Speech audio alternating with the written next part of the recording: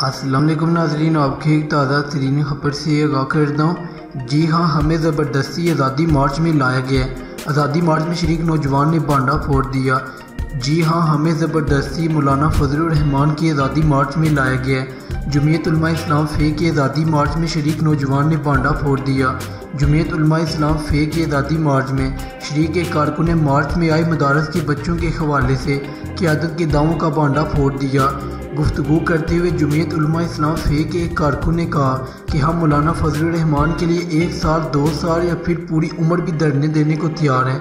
नौजवान ने बताया कि मैं तालब इलम हूँ और कुरान पाक हिफज कर रहा हूँ। नौजवान ने कहा कि ये जो कहा जा रहा है कि मदारस के तलबा को ज़बरदस्ती आज़ादी मार्च में लाया जा रहा है, ये बात दुरुस्त है।